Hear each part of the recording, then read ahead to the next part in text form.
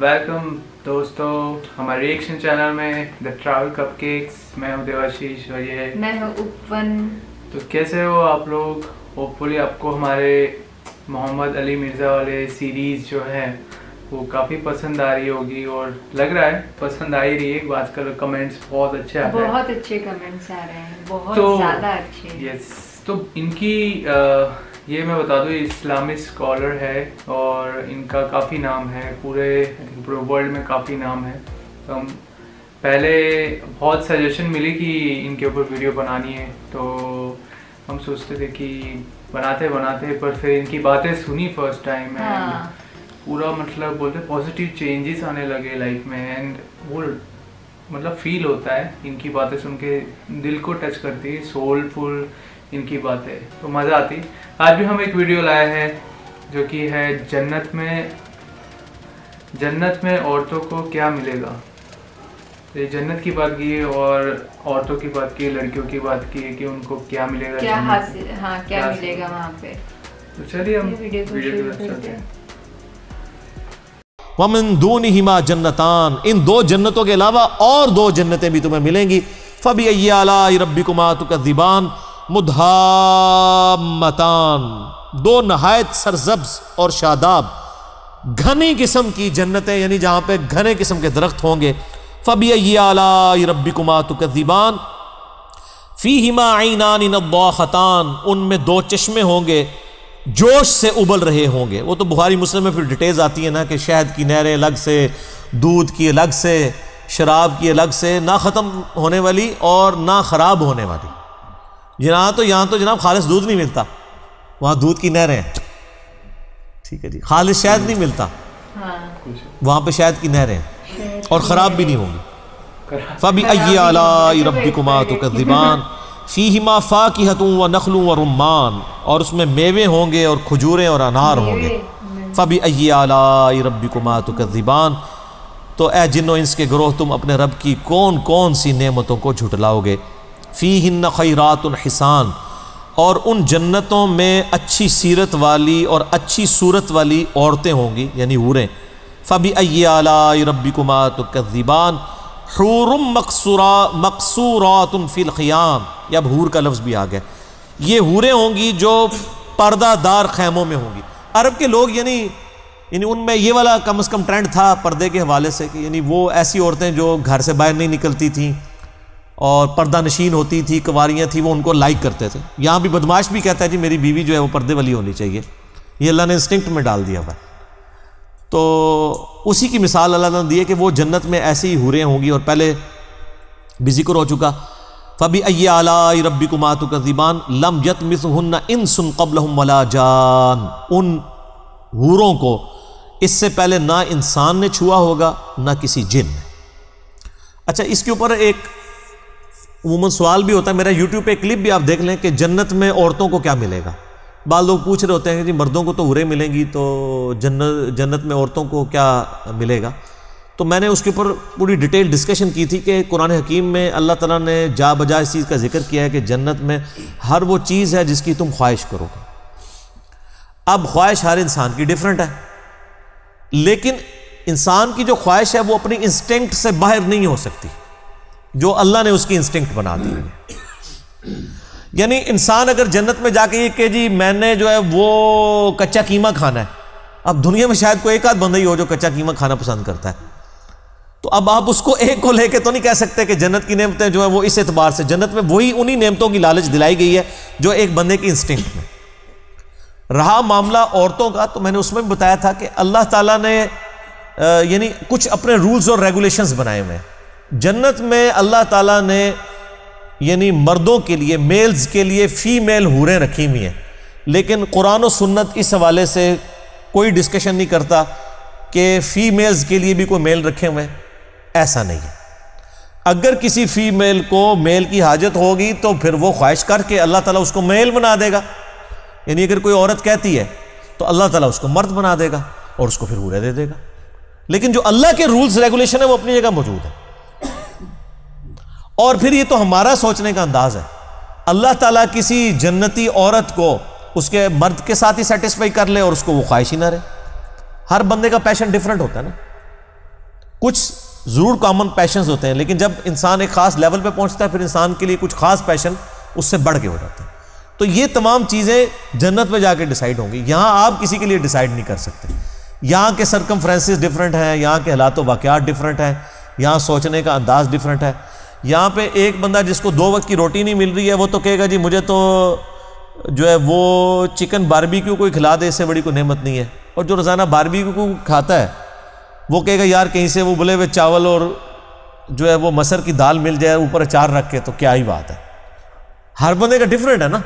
तो ये जन्नत में जाके अल्लाह डिसाइड करेगा, किसी बंदे के लिए क्या चीज़ यानी वो जो उसको पसंद है, उस एतबार से उसको दे दी जाएगी। लिहाजा इसके ऊपर ज़्यादा बहसें नहीं करनी चाहिए। और फिर ये गांधी साहब ने भी वो एक नया शोशा छोड़ दिया कि जी वो जन्नत में यही वाली बीवियाँ मिलेंगी आपको। लोग फिर मायूस हो गए उन्होंने कहा फिर ही ठीक है? वो कहता नहीं ये होगी लेकिन ज़रा थोड़ी सी ठीक होगी ये होगी। तो ये ये अपनी जगह और जो जन्नत की नेमतें हैं वो अपनी जगह। उनकी बात आधी दुरुस्त है। जो ज, जो दुनिया में औरतें हैं इनका हुसन जन्नत की औरतों और हूरों के हुसन से बढ़ के होगा। क्योंकि ये तो इनके लिए जन्नत बनाई गई है ना। जन्नती जो मर्द हैं, उनको जन्नत की हूरों से ज़्यादा दुनिया की वो औरतें जो जन्नत में पहुँची होंगी, जो अल्लाह उनको हुसन देगा ना, उसमें ज़्यादा उनको अट्रैक्शन फील होगी। क्योंकि वो तो जनती औरतें हैं ना। ठीक है?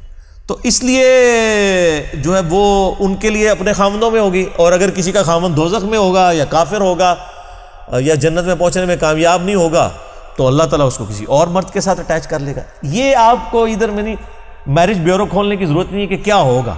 यहाँ पे भी लोगों ने यानी वो अजीब किस्म की वो रवायतें, वो तार जमीर साहब भी एक लेक्चर में बयान कर रहे थे, और अक्सर वाइजीन भी वो जी जन्नत में हज़रत मरीम जो है वो नबी वसलम की बीवी बन जाएँगी, हज़रत आसिया नबी इस्लाम की ये कहाँ लिखा हुआ है मेरे भाई? क्यों लोगों को आप ये कहानियाँ बताते हैं? ये अल्लाह के मामला हैं, ये वहाँ जाके पता चलेंगे। आप यहाँ बैठ के अपनी बीवियों की फ़िक्र करें। नबी वसलम तो जन्नत में पहुँचे हुए हैं, ठीक है? उनके लिए तो जन्नती नेमतें हैं, आप अपनी फ़िक्र करें कि आपके साथ क्या बनना है। हमें अपनी फ़िक्र करनी चाहिए। फबी आला रबी दिबान पस तुम अपने रब की, कुदरत की और नेमत की कौन कौन सी नेमतें हैं जिनको तुम झुटलाओगे? मुत्तकीन आला रफर रफर फिन खुद अबकरीन हिसान।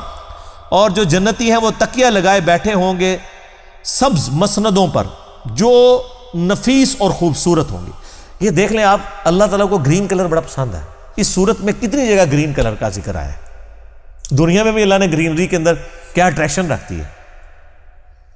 सुबहान अल्लाह फबी अला रबी को मातु का दिबान तो ए इंस के ग्रोह, तुम अपने रब की कौन कौन सी नेमतों को झुटलाओगे?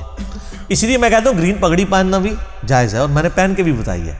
उस पर भी मेरा एक क्लिप चढ़ा हुआ है। तो चूँकि अब कॉपी राइट्स ख़त्म हो गए पहले कॉपी राइट्स थे इसके, खास जमात की निशानी थी। जब उन्होंने अब अपनी निशानी ख़त्म कर ली तो फिर मैंने भी ग्रीन पगड़ी बाँध दी कि। अब इसके कॉपी राइट्स ख़त्म हो चुके हैं। तबारकस्म रबी का दिल जलाल इकराम। एम, नबी सल्लल्लाहु अलैहि वसल्लम, बड़ा बाबरकत है आपके रब का नाम, बड़ी अजमत वाला, और वो है एहसान फरमाने वाला। इसके ऊपर ये सूरत कंक्लूड हुई। और इस वीडियो में ये भी ज़िक्र किया है कि अल्लाह ताला को ग्रीन कलर बहुत पसंद है। हम्म।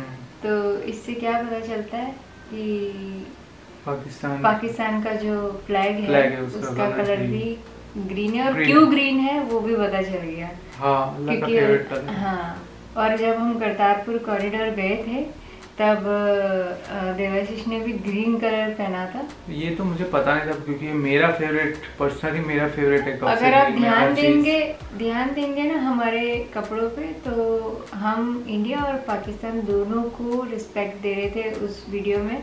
देवाशीष पाकिस्तान को रिस्पेक्ट दे रहे थे उनका ग्रीन कलर पहन के और मैंने ऑरेंज कलर का दुपट्टा लिया था जो इंडिया के फ्लैग हाँ और वाइट कलर का ड्रेस था तो इंडियन फ्लैग के हिसाब से मैंने कपड़े पहने थे और पाकिस्तान फ्लैग के हिसाब से देवाशीष ने।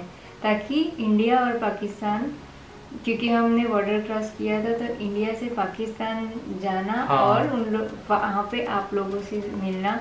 और ये हम बताना चाह रहे थे कि हमें सबको एक साथ मिलजुल के रहना। चाहिए। मोहब्बत से रहना चाहिए हाँ। से रहना चाहिए। हमने देखी वीडियो।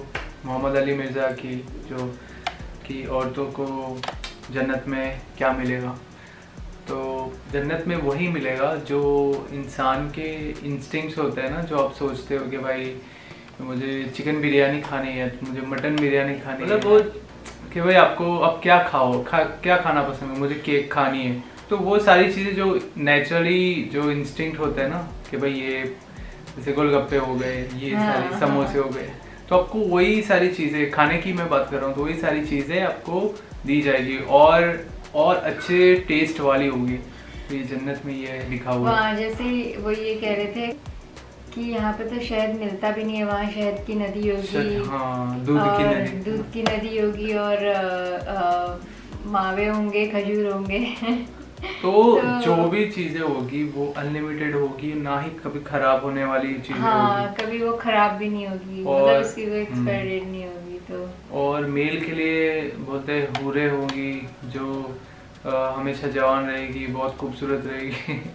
तो ये सारी चीज़ें तो अगर और औरत को ऐसा होगा कि अ, मुझे कोई मर्द चाहिए या मेल चाहिए तो वो भी होगा। तो जो भी आपकी ख्वाहिशें होगी वो पूरी हो जाएगी आपको जन्नत में। तो ये सारी चीज़ें हैं जन्नत में और बहुत हसी जन्नत होगा। और एक चीज़ बताइए कि अल्लाह को ग्रीन कलर बहुत पसंद है। मेरा भी फेवरेट ग्रीन कलर है हाँ। कब से? तो अच्छा लगता है। सुन के अच्छा लगता है। क्योंकि अगर हम लोग रिएक्शन देते हैं तो एकदम फ्रेश देते हैं। मतलब Yes. जो हमारा फ़र्स्ट रिएक्शन हो वो आप लोगों के साथ हो हमारे जो आप सब्सक्राइबर्स हैं व्यूअर्स हैं उनके साथ हो। अगर ये वीडियो हमने पहले देखी होती ना थोड़ी हम देखते नहीं है कभी भी तो मैं ग्रीन कलर का दुपट्टा लगा दिया। हाँ सही बात पर मतलब रिएक्शन देना मतलब फ़र्स्ट टाइम देना ही ज़्यादा अच्छा रहता है ज़्यादा बेहतर रहता है क्योंकि वो नेचुरल आता है बहुत अच्छा रहता है। और हमारे प्यारे ऑडियंस है जो हमें कमेंट्स में पूरी स्टोरी और सब कुछ बताते हैं और- समझाते रहते हैं हाँ, और हम ज़रूर वो सारी चीज़ें हम रीड करते हैं बहुत सारे सब्सक्राइबर बहुत अच्छा अच्छा लिखते हैं। नाम मेरे को सारे याद नहीं है पर सब सब बढ़िया लिखते हैं और हम सब कुछ रीड करते हैं। तो ठीक है ये थी हमारी वीडियो और काफ़ी अच्छी लगी। जन्नत की बातें हमें ज़्यादा पसंद है। तो चलिए हम मिलते हैं हम अगले वीडियो में। तब तक लिए लाइक हर हर कोई हर कोई जन्नत जाना चाहता है पर उसका रास्ता बहुत ही बहुत ही मुश्किल वाला है बहुत कठिन है। जैसे बाबे लोग कहते हैं ना जैसे जन्नत जेब में लेके घूम रहे इस तरीके से बात करते हैं। हाँ तो ऐसा नहीं होता है जन्नत के दरवाजे वहाँ तक पहुँचना मतलब बहुत अच्छा काम आपको हर दिन हर पल अच्छा काम करते रहना पड़ेगा अच्छे कर्म करने पड़ेंगे। तब जाके आप वहाँ जाके यहाँ आपको यहाँ आपको थोड़ा स्ट्रगल हर चीज़ में अगर आप करोगे तो आपको जन्नत मिलेगी और यहाँ आपको अगर आपको फेम चाहिए आपको फेम में रहना है आपको चकाचौंध में रहना है तो आपको फिर जहन्नुम का रास्ता तय है। हाँ में जाओगे सबके लिए है सबके लिए ये अप्लाई होता है। हम सबके लिए। ठीक है तो मिलेंगे आपसे अगले वीडियो में। जब तक अपना ध्यान रखना अल्लाह हाफिज। खुदा हाफिज अल्लाह